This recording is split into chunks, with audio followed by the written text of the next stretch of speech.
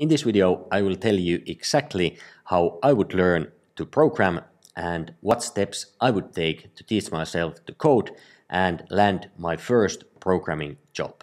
Coding is kind of today's superpower, some might say.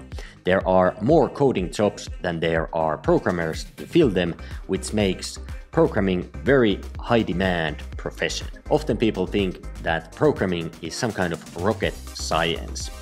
And well, if you work with rockets, then basically it is, but most of the time it's not. You don't necessarily need a degree to become a programmer, and most of the companies they understand that as long as you know how to code, it doesn't really matter what kind of degrees you have. And the best part is that you can actually learn how to code by yourself because internet is full of blog posts, tutorials, uh, courses, and all kinds of material that you can study to become a programmer. I'm not saying that it's a walk in a park, but as long as you are willing to put in the work, it's totally possible. So first, I would sign up for an online beginners course.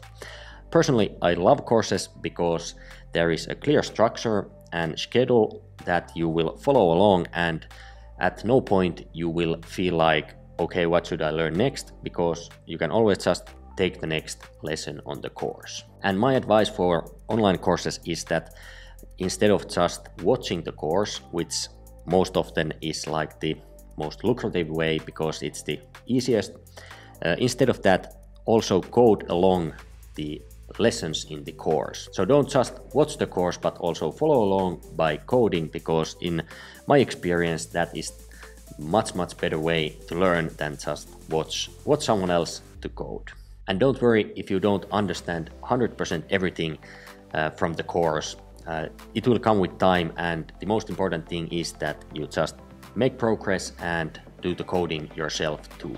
And one thing I like to do whenever I'm studying with the course is that uh, whenever I have coded the things that the course teaches, I will start to play around with the code and try different things and see what works, what doesn't, and just overall play play around with the code uh, because that way you will get better understanding how things work and learn much better. So the next logical question is, well, Tuomo, what course should I take then? I would recommend taking beginner's course on uh, one language. And I would recommend that you focus on only one language at first and learn all the programming basics with it because it's much better to learn one language well than it is to learn a little bit of a few languages. It really doesn't matter that much on what language you decide to start with at, as long as you focus on only one language. And the language I would start with is JavaScript because it's super popular and it pretty much works everywhere. It works in front end and back end and desktop and so on. So it's very versatile language. And one other thing that I think is kind of a good thing and a bad thing in JavaScript is that for beginners, I think it's easier to use language that is not typed. So what that means is that you don't have to define that your variable is a string or a number or a boolean or anything like that. And you can just uh, start programming much easier than with typed language. I think that once you learn more programming and when you create more complex applications, typing is really a must. But at the beginning, I think that uh, having JavaScript not being typed uh, is a good thing. One other popular option that people often recommend and start with is Python, and I think that's totally fine for you to start with Python. Uh, just remember that pick one and focus on it and stick with it. But if you want to start with JavaScript, I will leave a couple of links down in the description for some JavaScript beginner courses that I think could be good for you to start with. Some of them will cost a couple of bucks, and if you have the chance to put down the money for the course, I really think that it is worth the investment. After finishing the course, the next thing I would probably do is to uh, create some kind of personal project. And the thing I would say on the project is that uh, make sure that at first, at least, It's quite simple project and don't make it too complicated because it's important that you get your hands dirty, you get to create something and then you as you create more projects you can uh, start making them harder and harder. What's great in projects is that they force you to think like a programmer and you get to solve uh, like real problems with your coding skills.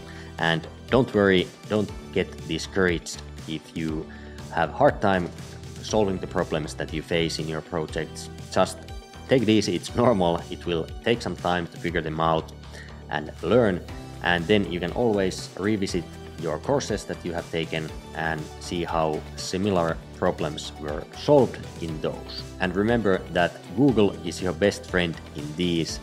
I guarantee that someone else has run into the same or similar problem before and you can find solutions for that problem by doing just a little bit of Google research. And the last thing about projects is that you actually get to create something. That's super motivating. At least for me, I, always when I start a new project, it's super motivating to see it come together and to actually see myself building something out of thin air.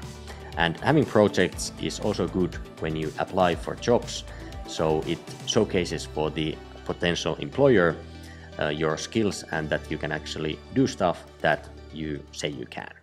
As with any job, using the correct tools is super important.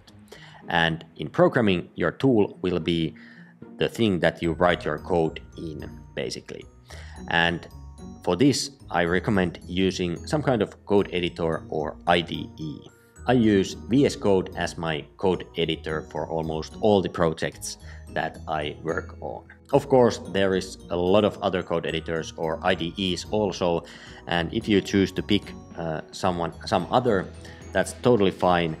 My main point here is kind of just that make sure that you use an editor that you are comfortable with, that works well, and one that you know you know your way around because that's the program that you will be using a lot so it's important that you are familiar with it. Next thing I would learn is version control.